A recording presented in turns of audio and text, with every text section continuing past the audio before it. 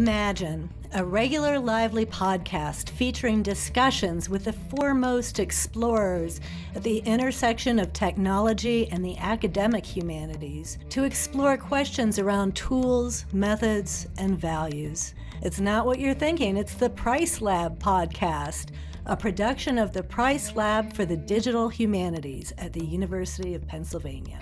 Welcome to Augmented Humanity. Our guests are modern explorers working at the intersection of technology and the humanities. They help us to understand ourselves and the worlds we create in this digital age. They are thinkers, creators, makers, and academics, working in diverse fields like linguistics, technology, game and object design, and ethics. I'm your host, Craig Goldsmith. I'm your host, Ellen Dornan.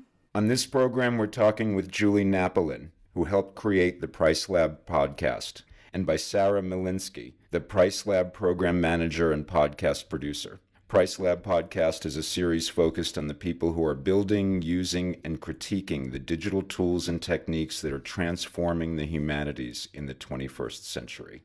Thank you both so much for taking time out of your busy schedules today to talk with us. I just sort of wanted to start by talking a little bit about what Price Lab is and why Price Lab decided to start a podcast. The Price Lab is part of the School of Arts and Sciences at the University of Pennsylvania's strategic initiative for humanities in the digital age. So, what that means effectively is that the Price Lab supports innovative uses of technology in the study of history, art, and culture. So, we're working directly both with scholars at the university as well as students and classes promoting the concept of digital humanities, which is really an umbrella term for any kind of humanities that wants to engage digital technology in the practice and research or to think critically about digital humanities. Sarah, just out of curiosity, why is the Price Lab called Price Lab? It's not because we're playing Name That Price. No, it's not actually. So we were established in 2015 with a very generous gift from Michael and Vicki Price, which is where we got our name. So did you start the podcast right when the Price Lab was established? No, we didn't actually seems to me that the podcast coincided with my time at the Price Lab. And I think because there was a gathering of people and a gathering of energies in the Price Lab in that moment of people who were really interested in sound. And we had one scholar who was working in the history of machine listening. And we had another scholar who was interested in poetics and sound at Penn, there's also Penn Sound. But, you know, there was just this matrix of sound stuff happening. And then Sarah has this background in documentary, and I wanted to teach my podcasting class. So there was this kind of gathering of forces around documentary, podcasting, oral history, sound. And then all these people were there, and it was like, hey, let's do something. It sounds like you have a lot of things going on there because you can have student involvement and you have staff and faculty involvement and all this. Is this also part of an outreach, evangelizing or educating the larger world on the concept of the digital humanities?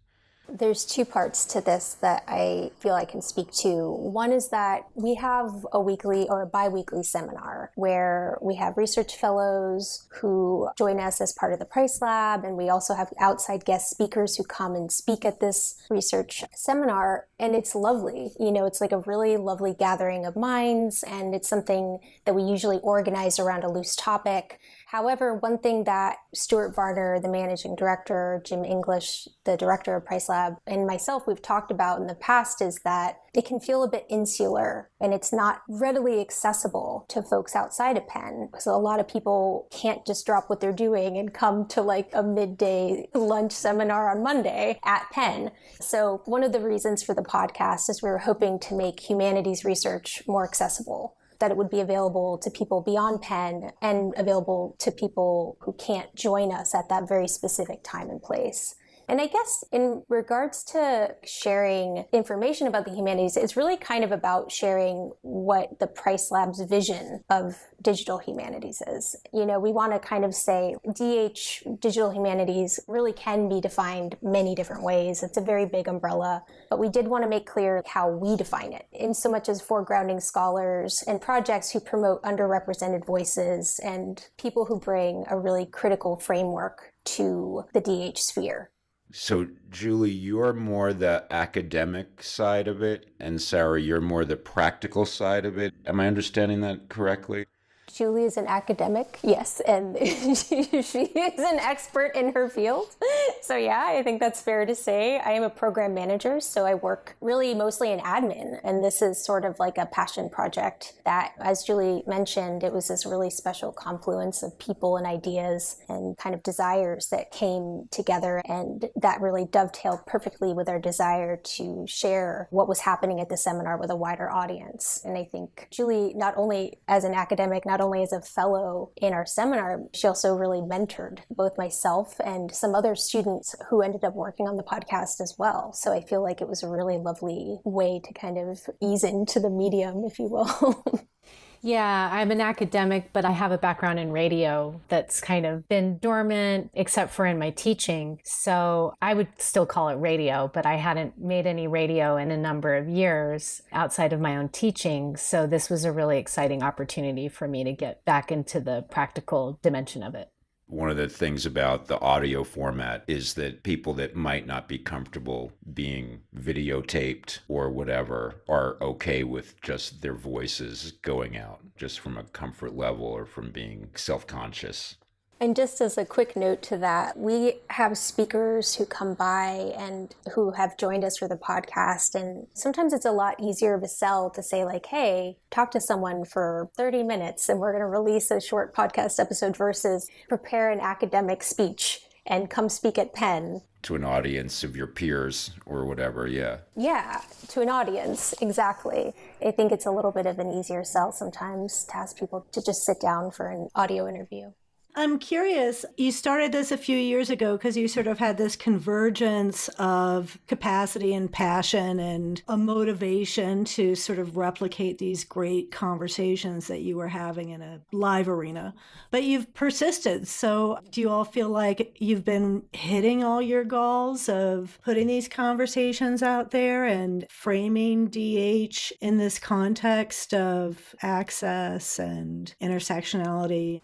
I think yes and no. I will say that I didn't come from an audio production background, and I find myself continuously being humbled by what an undertaking it is to make a good podcast that really reflects the quality of what the speakers are bringing to the situation whether or not we've hit all of our goals. I am tempted to say probably not, but it's a learning process in making it. I feel like we're constantly learning and we're kind of figuring out what works and what doesn't work. And it's an understatement to say that COVID was disruptive right? It's been a completely paradigm shifting scenario. And that touched this as well. I really liked the audio booth we used to meet in in the library, and it was really great to just record and have everything set up. And now we're doing things very much at a distance. And, you know, it's been odd because I'm not even usually present for a lot of these recordings. They happen away. And so I'm coming in at a very different step along the process now.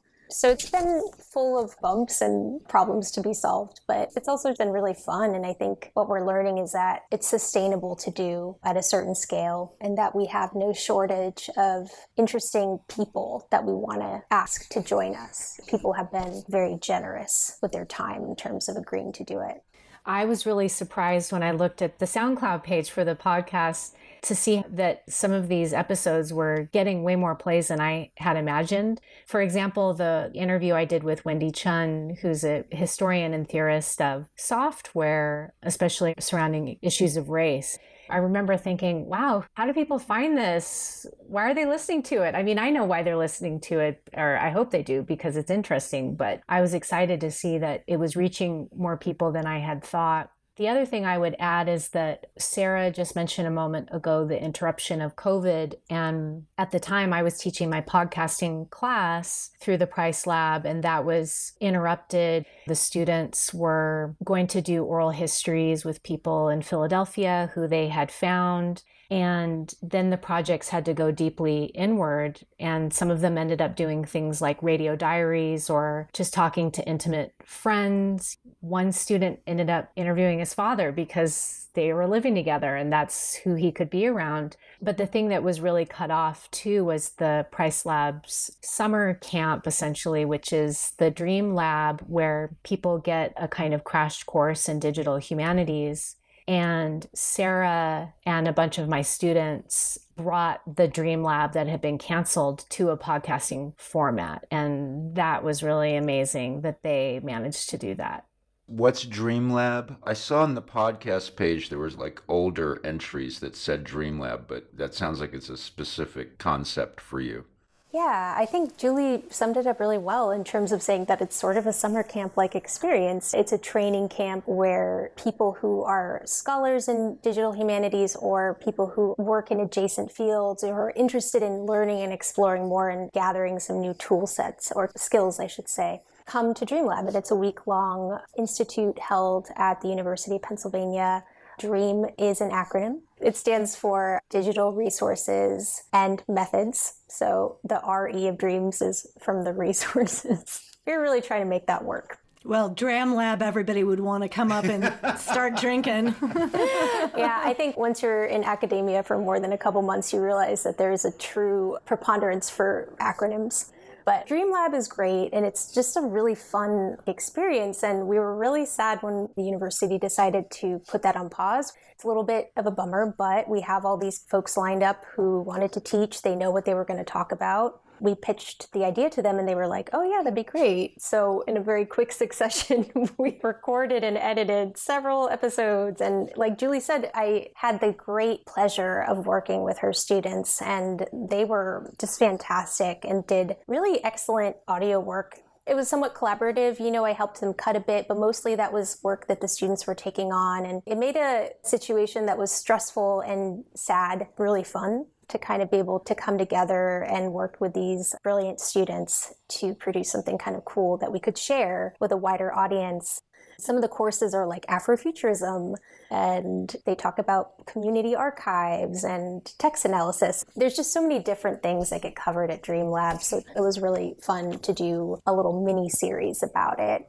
For us, we were recording in person at the KUNM fancy recording studios prior to the pandemic. So now the pandemic hits, and so we had to pivot in a technological way, figure out a way to do distance recording. But ironically, it was something that we wanted to do anyway because we had guests that we wanted to talk to that were so far away geographically that there would be no way to record them in person. And because we were forced to figure out ways to do this virtually, one of the silver linings has been it's really broadened who we can talk to in a way that's relatively easy. Have you all seen that a little bit, or do you mostly focus on people who are more directly in the UPenn academic ecosphere, as it were?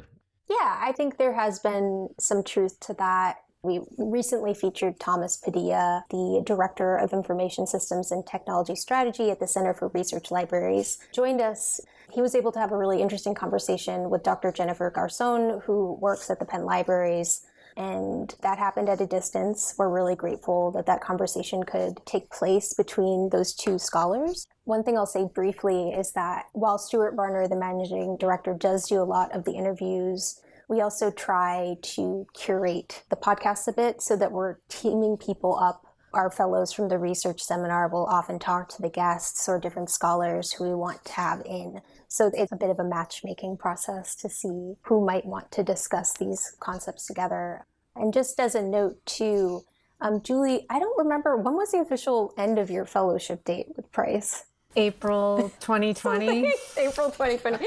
Yeah, oh. so Julie teaches at the new schools it ended abruptly with COVID. You know, we didn't come back from spring break, and my fellowship was supposed to continue on into the summer. And I was really excited to do Dream Lab again.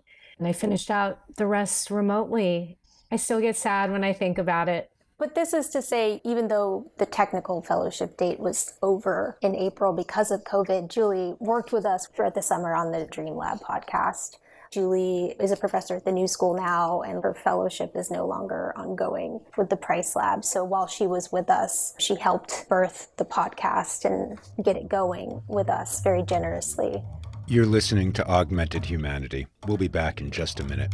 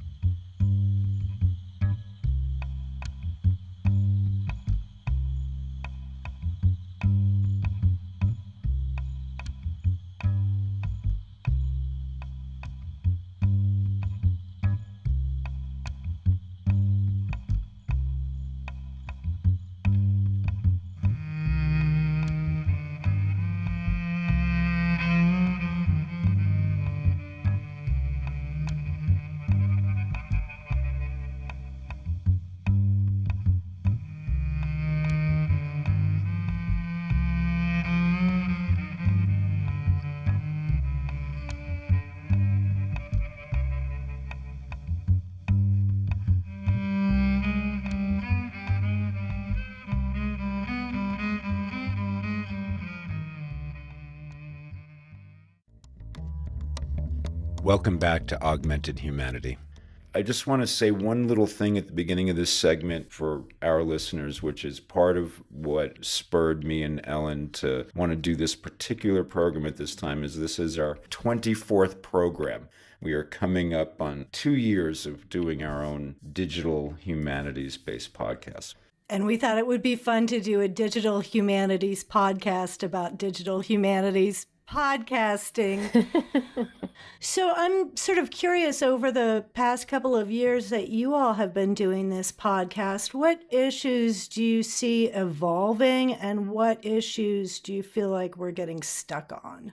Something I just observed in the two years that I was at the Price Lab, it just seems that the question is emerging what is digital humanities? And of course, there was this moment when we thought maybe it was going to save the humanities, and the humanities are still in peril.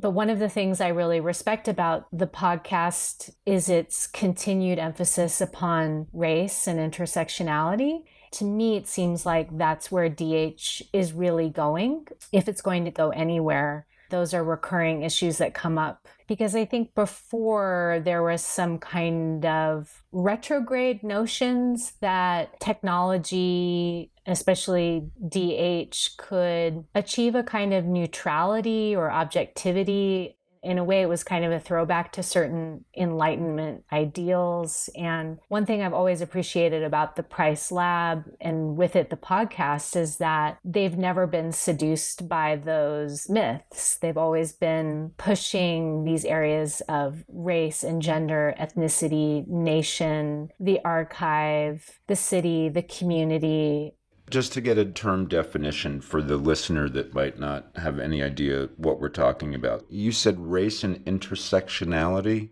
When I say intersectionality, I am drawing from Black feminist traditions. And these are scholars who have emphasized the extent to which race, gender, and class cannot be separated from each other that you know if you're talking about race you're always also talking about gender and class and vice versa I'm curious to hear you all talk about the way that some of the DH scholars have been driving these discussions about the data is not neutral. That's one of the discussions that I see trickling through to a much larger realm. Did all those discussions start out of the digital humanities? These discussions are really driven by the scholars that are being brought to the Price Lab. Sarah, in partnership with Stuart Varner and Jim English, continue to bring people who are asking these kinds of questions. These questions are foundational to what the Price Lab is about. One of the things they've always been asking is what is the digital humanities? And maybe it's not as limited as we think. That's what makes it such an exciting place that intersects with so many different types of scholars. Do you see the digital humanities field changing and becoming more inclusive or changing in its overall approaches beyond Price Lab? Absolutely, especially since the publication of books like Safiya Noble's Algorithms of Oppression and Jessie Daniels' works on racism and chat rooms and the non neutrality of the internet as a virtual space these questions are now at the fore of what DH scholars are doing. The other thing that DH scholars are doing, and I wouldn't have known this had I not participated in the Price Lab, is certain kinds of reparative work. For example, Alex Gil at Columbia, who works connecting people who are incarcerated to digital technology and helping them to create Twitter bots. And so, thinking, what's the bare minimum that you need in order to do digital work? And how can we begin there rather than thinking about maximalism? How can we get that out to people? So, this kind of community building dimension and repair dimension of DH, that's something that was really exciting to me that I learned about through participating in the Price Lab that I wouldn't have known about before. I think that one of the ideas behind the podcast is we wanted to share the way that we think about DH particularly. So that really informed who we're having on and what kind of discussions we're having. And it seems fair to say that the Price Lab is very much desirous to see more DH that's really focused on questions of race, questions of equity. That's the sort of work that we're inspired by. We're inspired by work that really engages in these questions around equity and race and reparative work. Most of the people that we talk to are not working in academe. So they might be artists, or they might be working for a museum, or they might be archivists. But the same themes always come up. What drives their work is expanding access, making information available to the people who need it. Collaboration turned into a surprisingly consistent theme. None of us can do this work on our own that part of doing this work is learning to build and work with your team. And so I was curious whether you all see themes emerging besides the racism and intersectionality and how it impacts how we understand our history or our literature or whatever. It was really about how to bring that very exciting discussion to potentially hundreds of people one of the hallmarks of academia is that it's cloistered. You know, you have to have your ID card to get into the building. You have to have the email address to even get the invite. And the podcast becomes a perfect opportunity to get those discussions out there. I know that doesn't directly answer your question, but it's what it makes me think of. No, I think it does. And I guess if you don't mind revisiting, is talking a little bit about how you involve students and then different interviewers because that is a kind of a collaboration. If you put a librarian with a librarian, they're going to talk about different things than you might ask a librarian or I might. Yeah, I mean, I think that's a really great question because I think at the heart of all of this, when we are listening to a podcast or watching some media, right, you don't always see all the work behind it. You know, you don't always know how many people went into making a given product. so, I can say while I do a significant portion of editing, there are so many other people involved students who are collaborating on the podcast You come in to help with the first paper edits of an episode or perhaps even cut the episode or find musical interludes or sound effects or, or kind of like are building audio storytelling elements into what we're doing. I think there's certainly a lot of feedback. Like I used to pass episodes to Julie on occasion to be like, hey, what do you think of this? Like, how is this sounding? You know, I don't have a technical background in audio production. So there were a lot of question marks for me just in terms of like, how loud should things be? like, how many spaces should there be between, you know, sentences when people are talking? Like, how to make it sound naturalistic and high enough quality that people will want to engage with it it's certainly this whole thing has been a learning process. And I think Stuart is very hands on. Our managing director he is often the person asking for folks to join us on the podcast and just saying, like, hey, would you like to talk with us about your work? You know, and I think that's something that we're all very grateful for. And we are at a large institution, we're at a very well funded institution. But that said, we have to make the decision to spend time and resource on this. I do quite a bit of things for the organization that has nothing to do with the podcast. You've been working overtime on the podcast. Yes. just kind of burn the midnight oil. I've been wondering about that sometimes. I'm like, is Sarah getting paid for this? Yes, yes, I, I am getting paid for it. You know, but I'd say it does all come out in the wash. But it was something that we had to make a very critical decision at a certain point when we really realized, oh, creating a podcast actually is going to take a lot of labor, and part of my salary goes to that that's like a very, I'd say, conscious decision to have part of our time be spent doing this. And I think that speaks to the importance that we feel it can have just in terms of creating outreach that said, it is a bit of a niche, you could say, perhaps, like what we're doing, but we'd really like it to reach a larger audience. And I hope to devote more time to that, to figuring out different outreach strategies and releasing this in all the different ways that it can be listened to. Right now, we're just on SoundCloud, you know, but we do plan on working with a student worker next year who will probably help edit the podcast. That's something that I usually teach the student to do, at least partially. It's a very pedagogically based process. Like I'm learning, people are learning while they're doing it, which for me is great. I graduated from the new school where Julie teaches in media studies and production. So for me, this is just a lot of fun. I genuinely have a blast doing it. It's not exactly a theme, but we do ask everyone, what's your background? What made you want to get into this work? And that really has brought up quite a bit of interesting stories and material. And some folks, you know, it's a pretty like straight shot. They're like, oh, I've always wanted to be in academia. And, you know, and other folks like Wendy Chun talked about starting off as a data scientist and how her very particular journey and having to deal with a violent episode at a university where she was studying in Montreal really shaped the way she thought about data and about the way people understood it. And that kind of led her to work that looks much more like what we were talking about now in terms of digital humanities.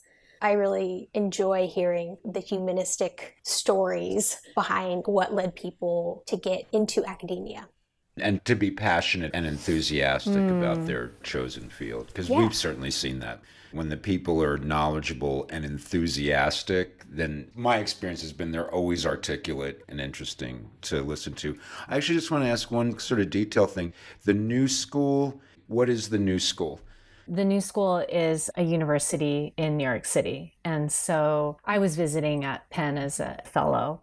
And so it was just kind of kismet that Sarah had also spent time at the new school. And so we were kind of fellow travelers who ended up meeting in Philadelphia.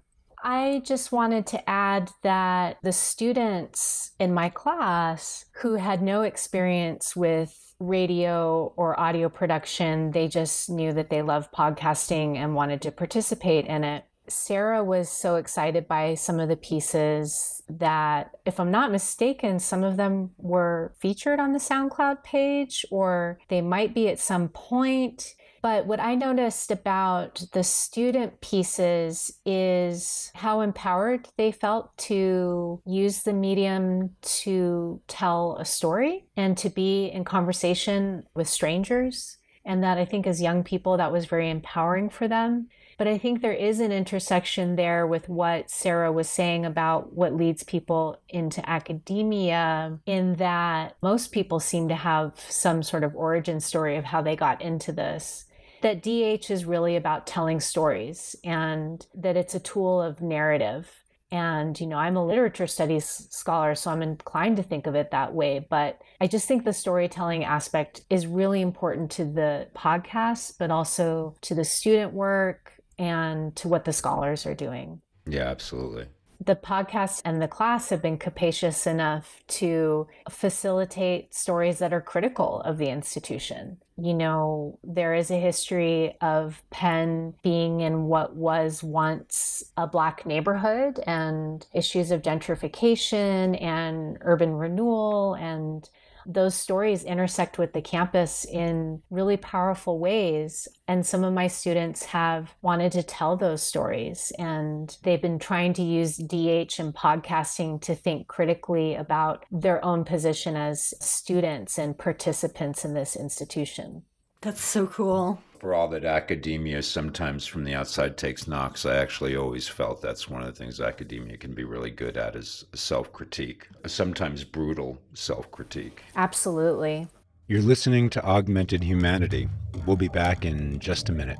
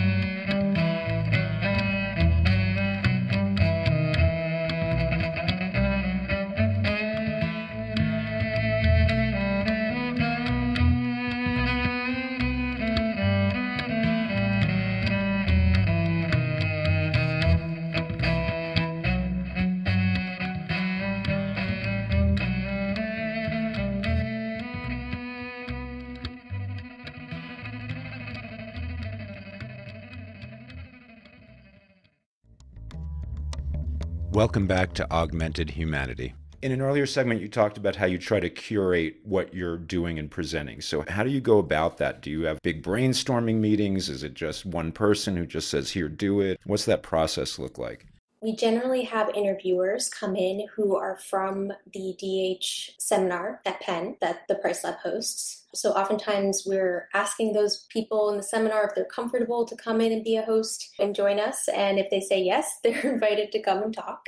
You know, obviously there's a sense of what kind of research and scholarly work a person is doing and how might that intersect with what the guest works on and whether or not it could be kind of like a productive conversation for the two folks.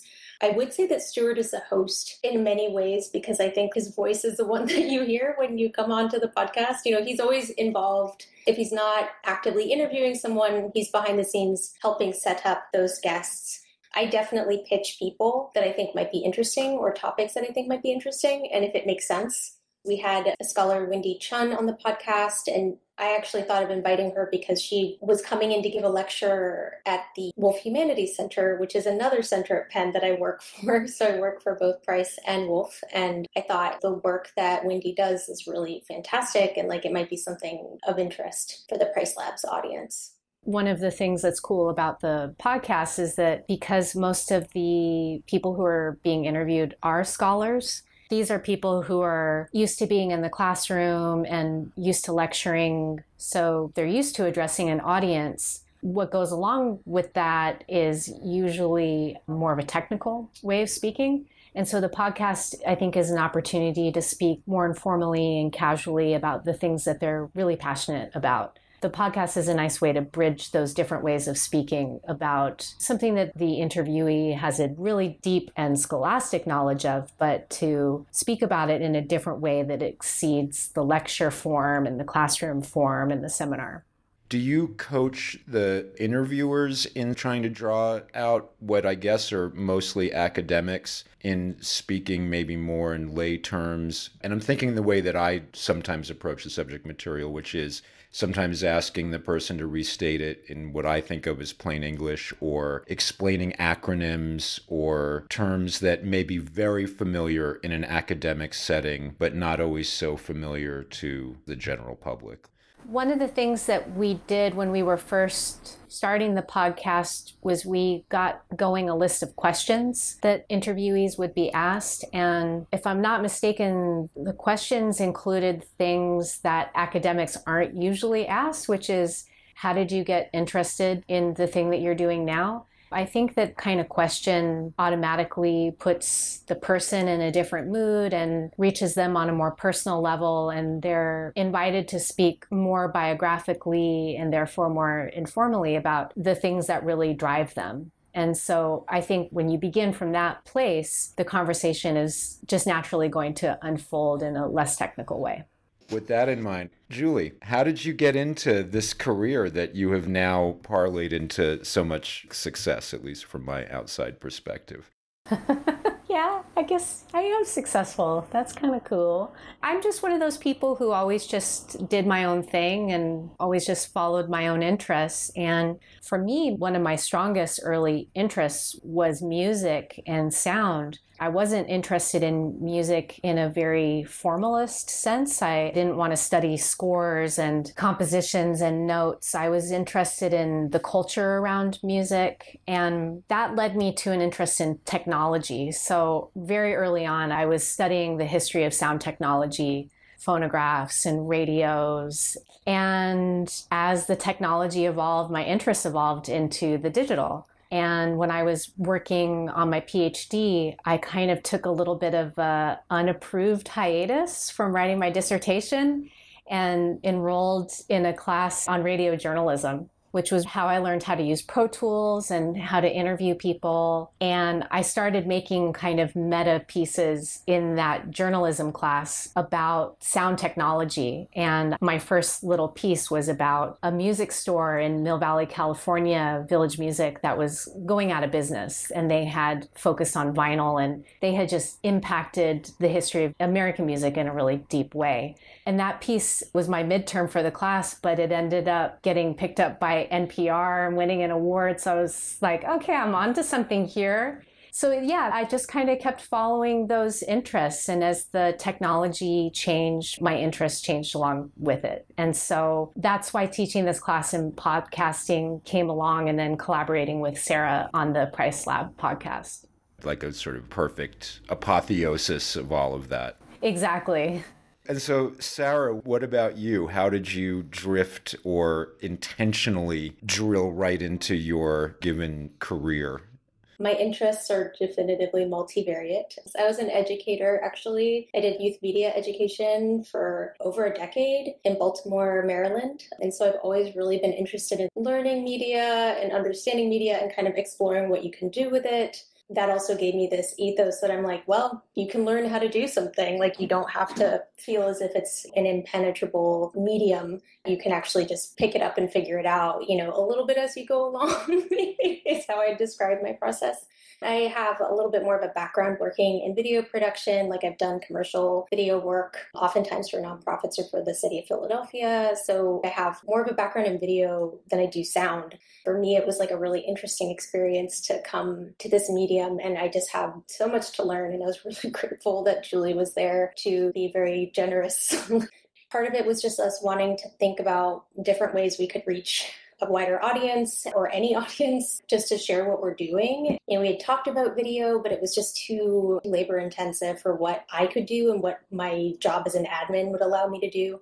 So that's sort of how I ended up doing this. And I'm very grateful that it worked out. And, you know, I've been inspired. I study coding now. I'm actually studying computer programming and web development. So that's something that directly came out of me doing this podcast and learning about these things that I was like, wow, there's so much potential, you know, and people are doing such interesting things. And I come from not a technical humanities background, but from a media studies background. And I also fine arts, you know, I have a degree in fine arts as well. So for me, this was like a really interesting place to land. It makes sense in a way. I'm grateful to be able to do it.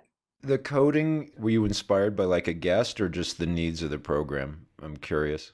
I think in part because I update our websites. I could just learn HTML and CSS, but I want to learn Python and go a little deeper.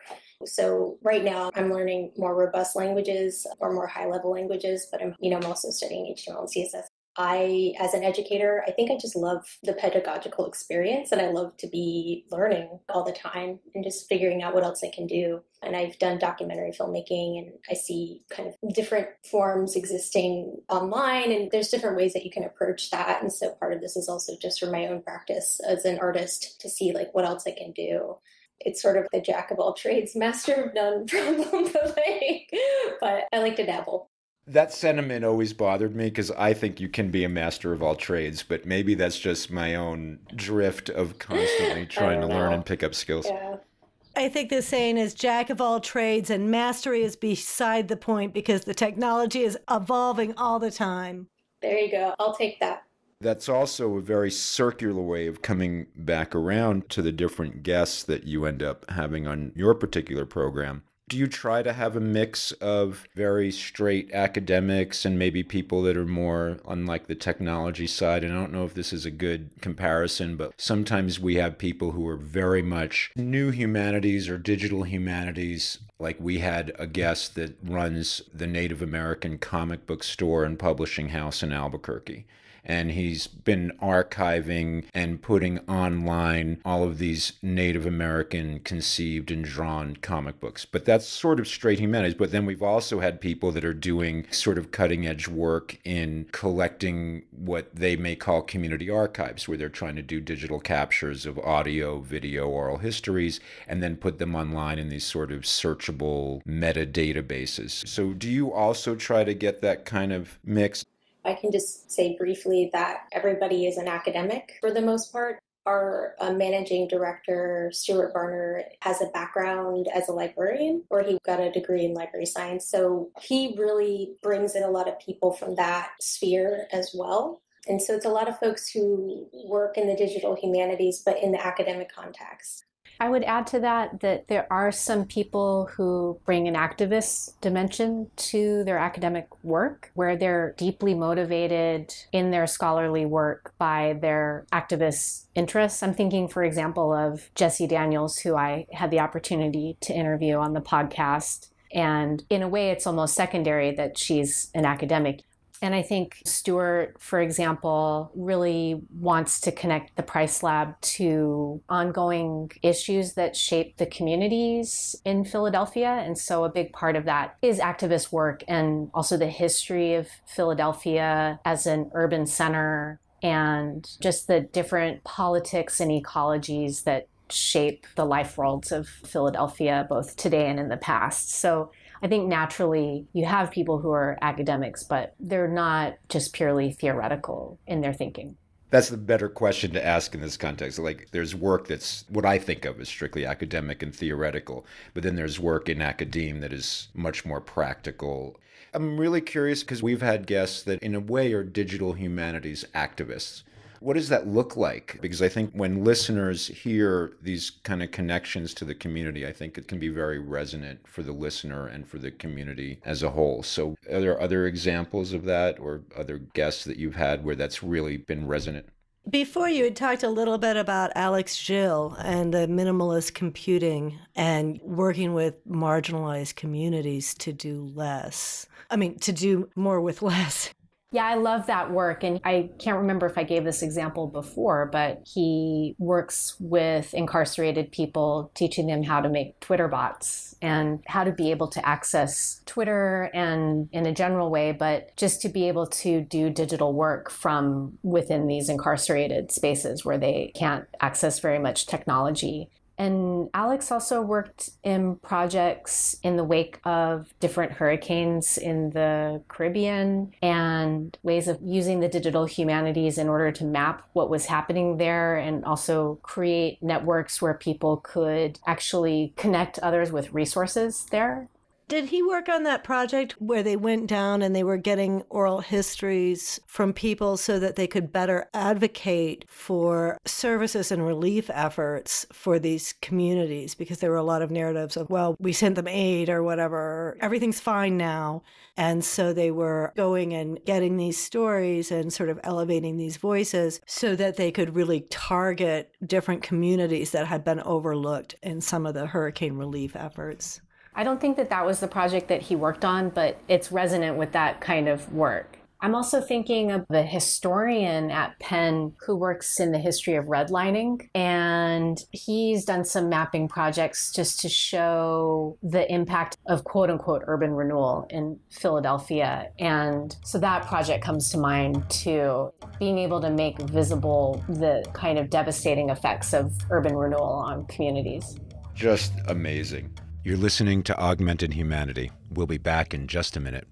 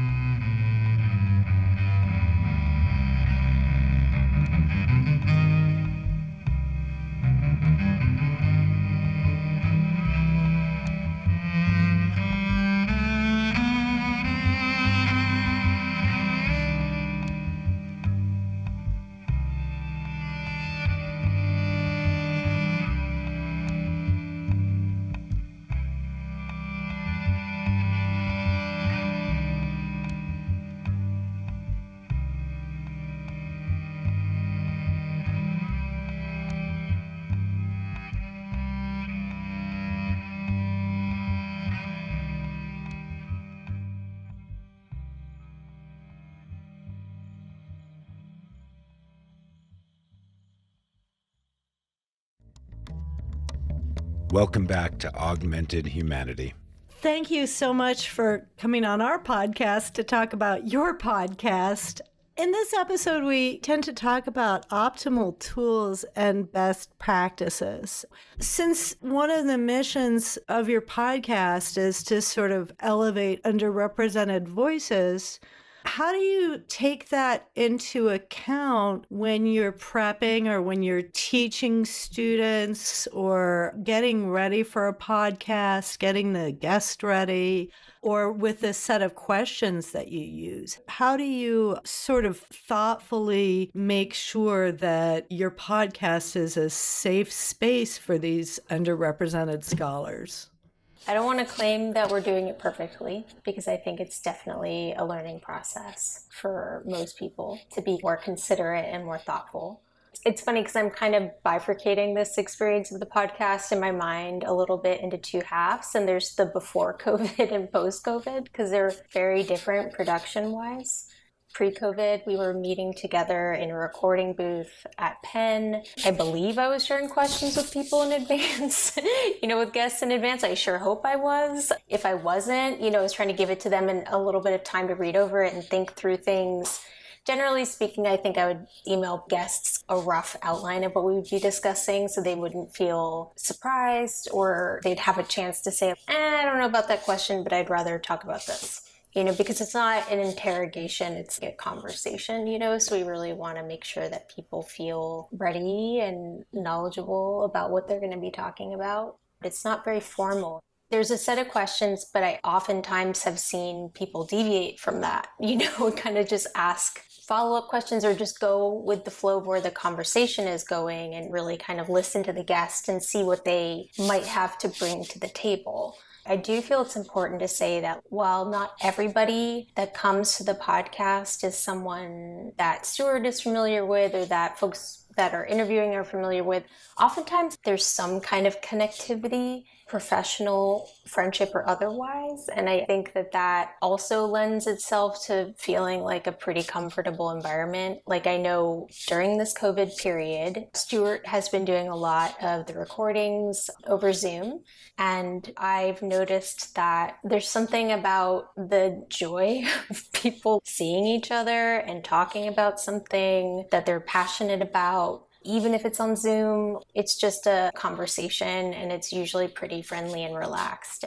I would also say the Price Lab's viewpoint on creating safe spaces and trying to be good allies and really being more critical of that, that's evolving in step with our wider society evolving around those thoughts. And I think it's something that I've just seen change. What happens in the podcast is a microcosm of what happens at the Price Lab the ways in which people think about the learning space or the space being open and welcome and safe for people is something that is writ large for Price Lab. You know, I'm a white person, Stewart is a white person. Not everybody on staff is white, but I think as we two are oftentimes working on this, I would welcome feedback from people and I wouldn't expect it. But if they ever were like, hey, this is how this could be done differently, I would hope that that could be a learning moment for everybody and say, like, yeah, you know, that makes sense, we'll do that.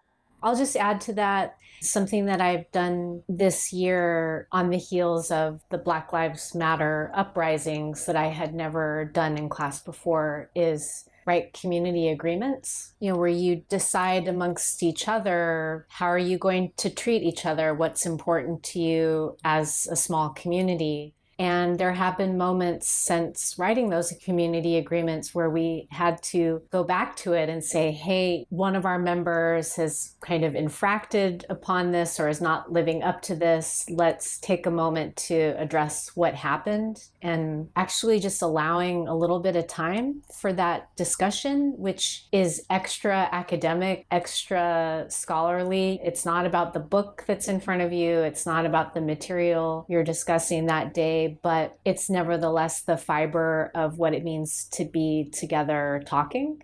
And this is a generation of students who have been growing up with podcasts and growing up with this new conversational medium in a way that terrestrial radio has never been. I mean, talk radio is mostly pretty scripted, and podcasting is really about letting it all hang out there That's a great approach. And I can see how it would translate well from the classroom to a more intimate conversational setting. And it just echoes Sarah's point that it is a learning process. From the get go, you're saying we're going to talk about uncomfortable things that happened rather than just scolding them or sweeping it under the carpet. Then you actually have the opportunity to learn from it. I would have never thought of doing this, by the way. I should give a big shout out to the program of civic engagement and social justice at my university that distributed a bunch of resources how to make these agreements because I never would have known. I would have never been able to figure it out.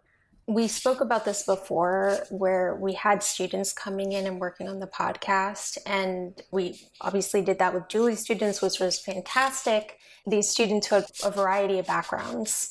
It was great to come have them produce content. You know, it really allowed for a variety of takes on the subject matter of digital humanities to kind of come out. I'm not sure if I've mentioned this yet, and it's huge. I've been working with a student worker, Maria Chiamesso da Silva. She and I worked really closely together on the podcast this past year. There's no way I could have done it without her work on this because, you know, she's fantastic. And also, as I've mentioned, I'm an admin. I do a lot of different things. So Kia was there editing transcripts and co producing episodes with me. So I really feel like that's something I don't want to lose.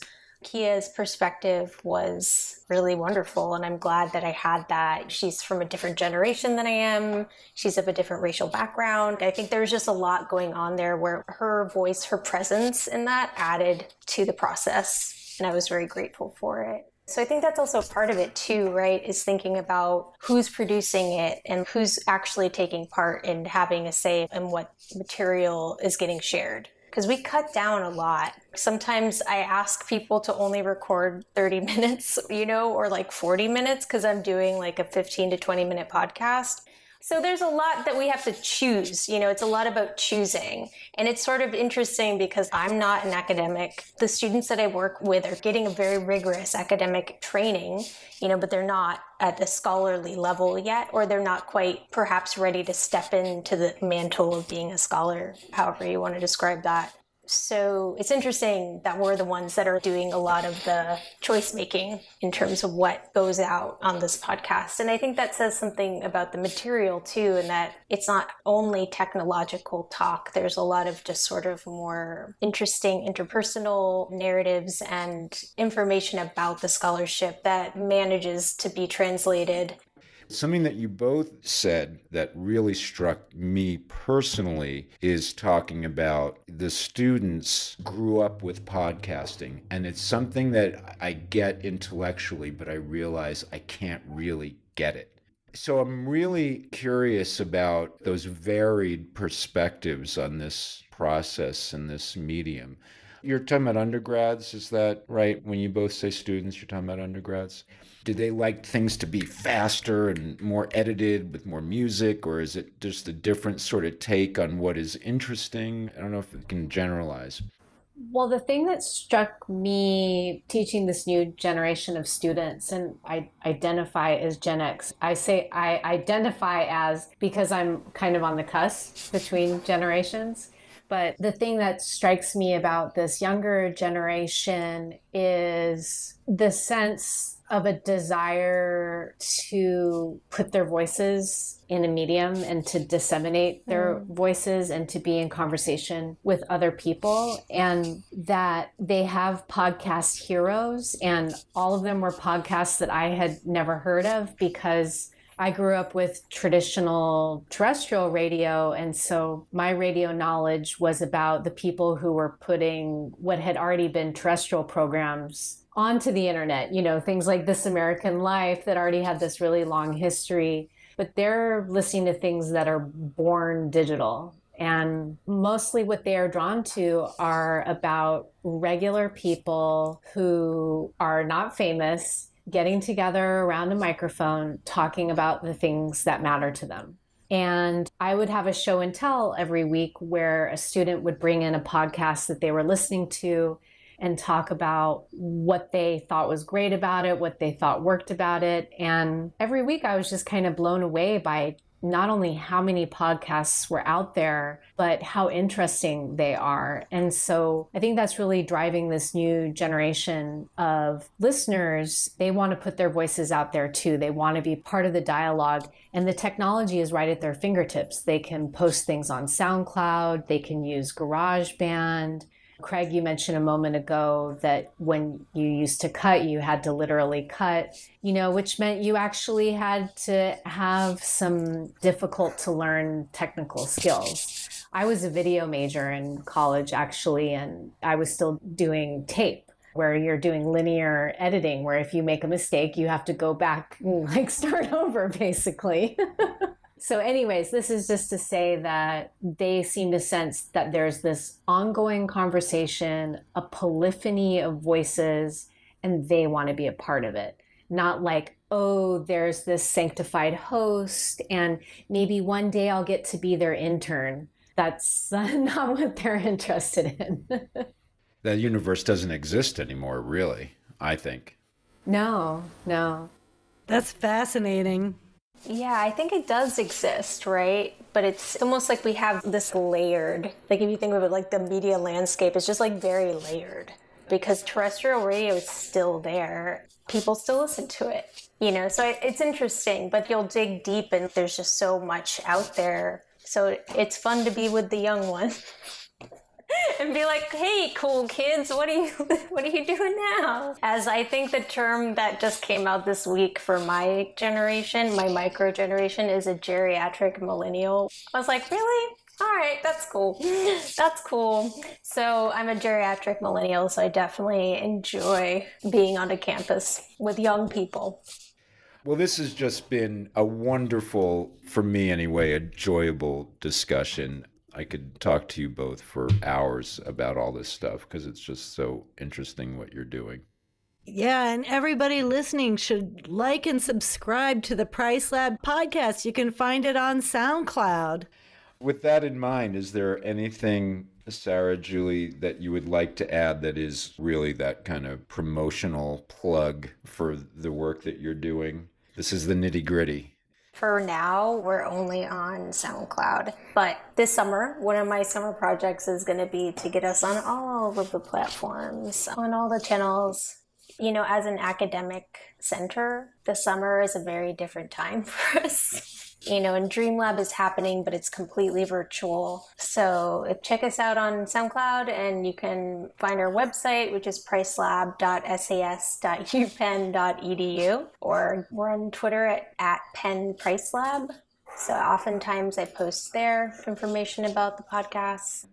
Thank you both so much. This was just such a treat. Yeah, thank you. It's a thrill to discover your podcast, and it's just a thrill to talk to you. We really appreciate it. Thank you. Well, thank you. And if you would like more information about the Price Lab podcast, you can visit pricelab.sas.upenn.edu slash podcast or look up the Price Lab podcast on SoundCloud. Augmented Humanity is a program of the New Mexico Humanities Council produced in partnership with KUNM FM. You can visit us online and find out more about our programs at nmhumanities.org. Our theme music comes courtesy James Whiten, and we've had production assistance from Tristan Klum.